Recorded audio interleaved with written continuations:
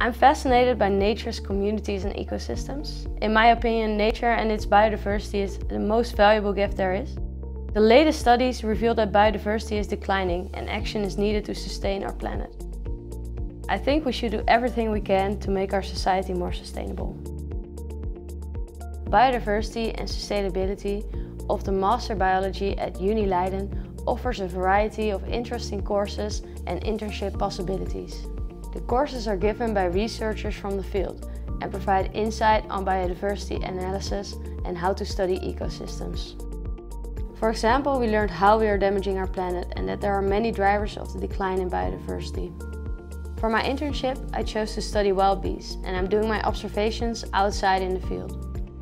In the future, I would like to work at an organization that links research from the field to society, make people aware of the beauty of nature.